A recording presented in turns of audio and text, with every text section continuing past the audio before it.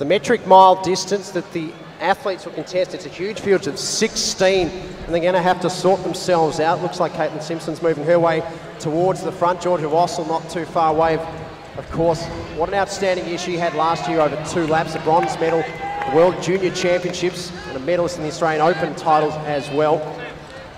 We mentioned earlier that we'd also have in the field Brittany McGowan, the Commonwealth Games representative over 800 metres. Victoria Mitchell, of course, an Olympian in the steeple, is contesting the event. She's well placed in that bunch. They're just settling down. It is very much a championship style race, Tamsin. They're closely locked in together.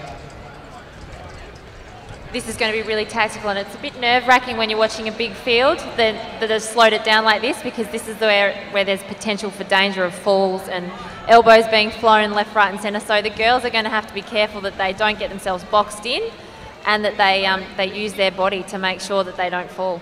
Looks like Georgia Wassel wanting to get a better position. She had to go four wide around the bend just to work her way back up towards the front of the field. Paige Graham leading through the early stages, the South Australian.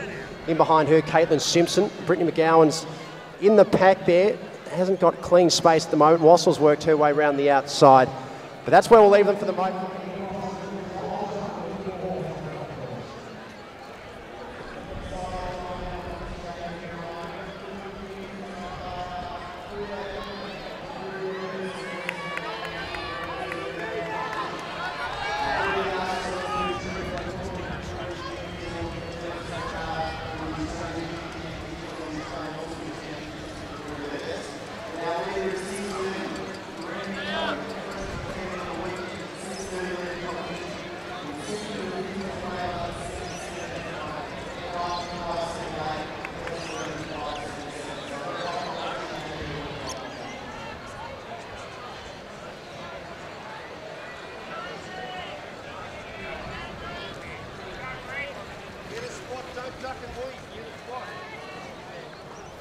So two laps to go on the 1500 metres at this stage. Still Paige Graham at the front. Brittany McGowan well placed there in fourth at the moment. Young Corrin Demeo of the Geelong Club here in Victoria just sitting in third place. Katelyn Simpson's been omnipresent near the front. Georgia Wassel, the blue top pink shorts, working her way around the outside. But, but Tamsin, Georgia's actually had to run a little bit longer than everyone else because she's been three wide most of the way. It's probably a bit smart at the, this time of the season with such a big field. It's not going to affect them off a slow pace to be wide. You just want to stay out of trouble. So I think George has done a smart thing to be wide so that she can move when the when the race actually gets going, which it's starting to pick up pace here with Brittany hitting the front. Um, as I said, it's early season, so the girls are probably in heavy winter training, especially the girls who went overseas this year to compete at Commonwealth and World Juniors. So it's just an early season hit out, so they'll be foxing with each other to see what sort of shape they're in at the moment. Speaking of juniors, Amy Harding Deleuze has made her way to the front. Now, she had a really enthralling battle across at the All Schools with her twin sister Lily. Only five one thousandths of a second actually separated them. Her sister's not here tonight. She's in second place. Brittany McGowan's in the lead, and it's one lap to go, Tamsin. So really starting to pick up the pace here, and I think it's Brittany that's going to lead the charge.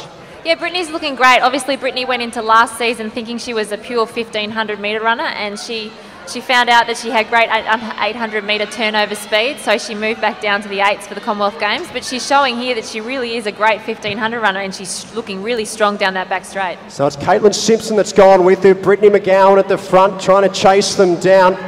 It looks like one of the other Victorian athletes there, potentially Amanda Paulin, but at the front end of the field, so it's McGowan and Simpson going head to head. Gap back there to that next group on the track, which includes Wassel and the Victorian Demeo. But at the top of the turn, Brittany McGowan will lead them in the Commonwealth Games representative over 800 metres. The national 800 metre champion, Katelyn Simpson's right there, but storming down the outside. Trychelle Kingdom. Trychelle Kingdom really started to get a run on. Up into second place, moving up towards Brittany McGowan, but McGowan's going to be too strong. And it's great to see Trychelle Kingdom back running strongly She's in a second place. Simpson rounds out the top three, back to Vic Mitchell in fourth, and Demeo, the young Victorian, in fifth. Great run there by Trychelle Kingdom. She'd been way back, but, but found a lot of speed, Tamsin. It's really good to see Trychelle back racing. She um, was obviously a very talented junior, winning open national medals at um, the 800. So she looks fit. She's she's hung in there. So it was a great run.